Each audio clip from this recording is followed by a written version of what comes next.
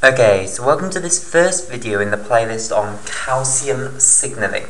Now, in this video what I want to do is give a basic introduction to the ideas underlying calcium signaling and also to uh, explain the difference between a calcium channel and a calcium pump. So that's the main uh, topic for this video, calcium channels versus pumps.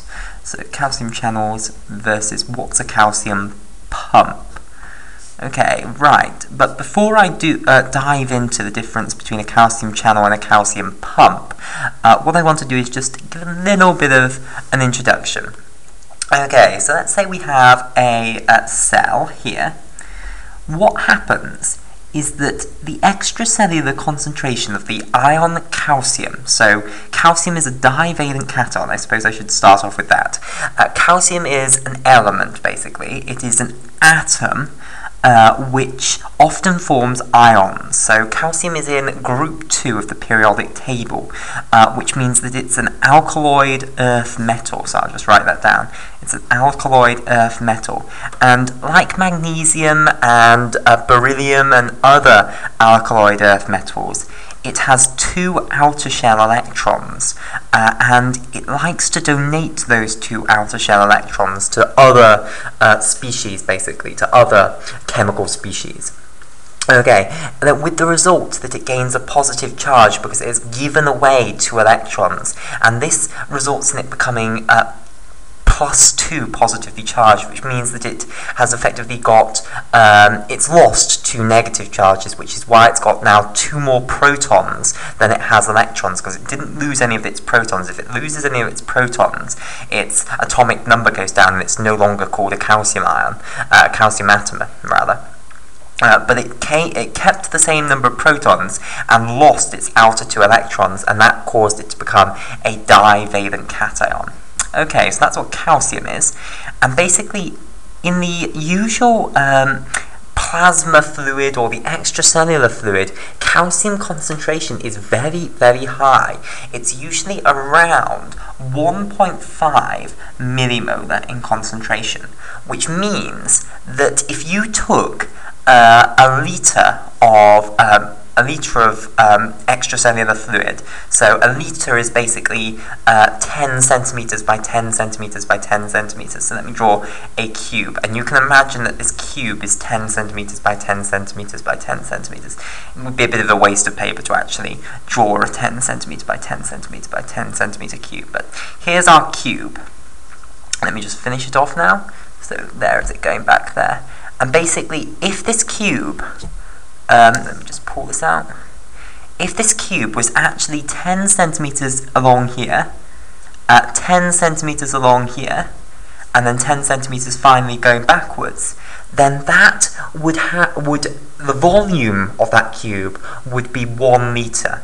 Okay, uh, so often another name for a liter is a decimeter cubed. You'll often see people refer to a litre as one decimeter cubed. And the reason is that 10 centimeters is often known as one decimeter. So all of these side lengths would be one decimeter, and therefore the cube that they span would be a decimeter cubed. Now, the unit molar if you ever, uh, often people refer to molars uh, as concentrations. What that means is it means number of moles. So one, mol one molar means that you have one mole in a decimeter cubed, in a litre basically. So molar means one, one molar is one mole of that substance in a decimeter cubed. So if you've got 1.5 millimolar, what that means is that you have 1.5 millimoles, which means a thousandth of a mole, in a litre. So if you actually got a litre of extracellular fluid, the number of moles in uh, in that litre would be 1.5 millimoles. Now, what in just in case you don't know what a mole is, a mole is basically just a number of molecules. So one mole of, uh, let's say, calcium means that you have um, 6.022 times 10 to the 23 actual species basically. So if you've got one mole of calcium ions, it means that you have, oh, sorry, 23, not just 3. Uh, it means that you have this number, this massive great number of actual ions. So if you've got 1.5 millimolar, what you could do is you could actually work out how many calcium ions that means you have in a litre. So all you'd have to do is a millimole is a thousandth of this. You divide that by a thousandth to get a millimole and then if you wanted to turn it into 1.5 millimoles, you'd then times that by 1.5, and you'd get the number of calcium ions actually in a litre. So that great big number that a mole is, is known as the Avogadrian constant. Just a little bit of a reminder of basic chemistry here. Okay, so Avogadrian constant. Right, okay.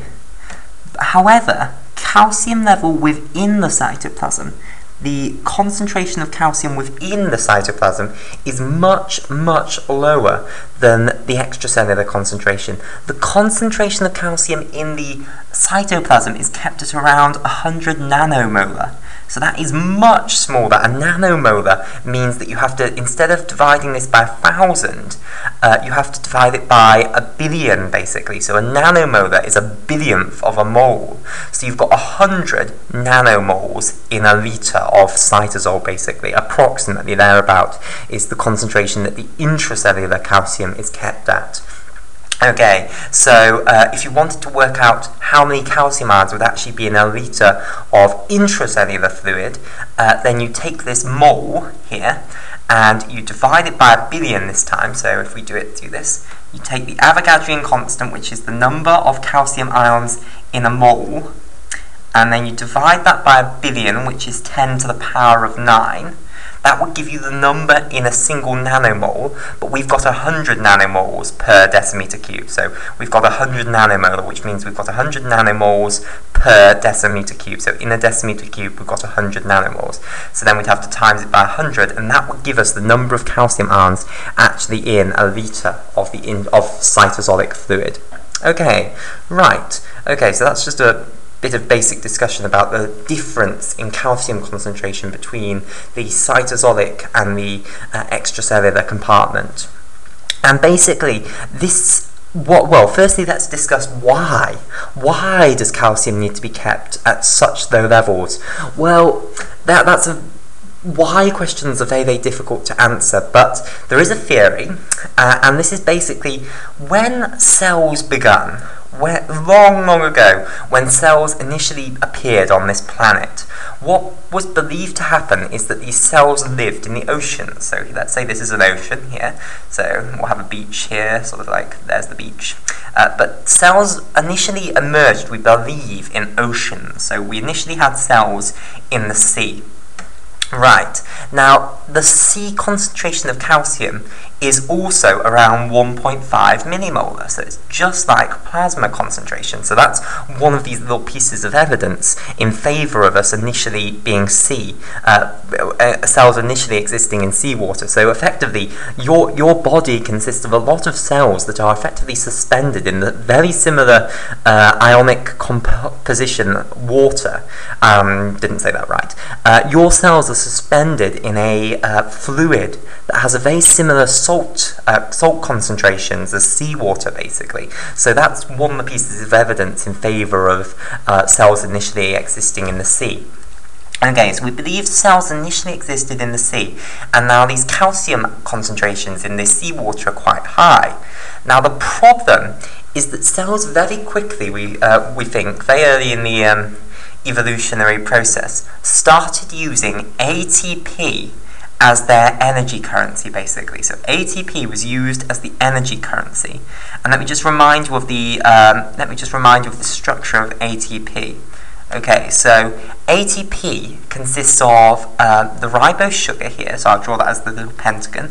So here's ribose. Then you have off the side you have adenine, which is the organic base. And then off the fifth carbon up here, you then have three phosphate groups, which is why it's adenosine triphosphate. So adenosine refers to the ribose bonded to the adenine, and the triphosphate re refers to the three phosphate groups here. Let me just highlight things in. So these are the phosphate groups here. Okay, and that's the triphosphate in the name there. And then the adenosine at the beginning here refers to the uh, ribose sugar with the adenine group here. Right, okay, uh, now if uh, the way the energy within the ATP molecule is released is that you hydrolyze it to ADP and an inorganic phosphate. So here is ADP, uh, which is basically adenosine again, but now only with uh, two phosphate groups. So it's adenosine diphosphate, okay? So this is adenosine diphosphate. And then obviously a single phosphate group comes off, so that you break uh, adenosine triphosphate uh, down basically into uh, two phosphate, uh, well you break a single phosphate group off, this third phosphate group gets broken off, and you get adenosine diphosphate and that single phosphate group. And basically, uh, that means that if you're going to use this reaction to store energy, and I should, should say that when you do this reaction, this hydrolysis of ATP, it releases energy as well. So I'll put some sort of sparks in over here on this side to show that you've got some energy.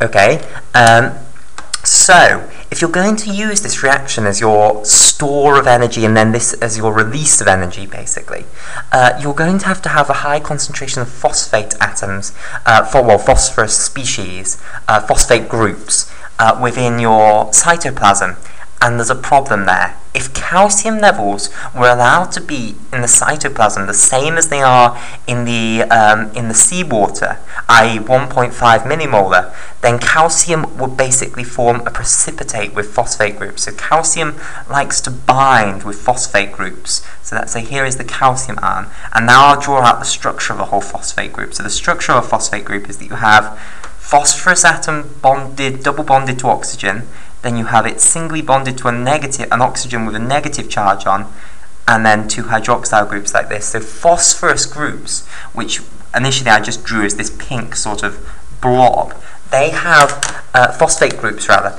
they have a negative charge, and they interact with calcium very nicely and they form calcium phosphate basically. So usually what will happen is that uh, this calcium will get surrounded by multiple phosphorus atom, uh, phosphorus group, phosphate groups, and uh, it'll form a nice bigger lattice. Okay, with uh, phosphate groups uh, bound uh, electrostatically to other calcium ions, and it will form a large lattice, and that's known as calcium phosphate. Okay, and basically calcium phosphate precipitates out of solution so it forms a solid, um, like salt basically, like a, it forms a crystal.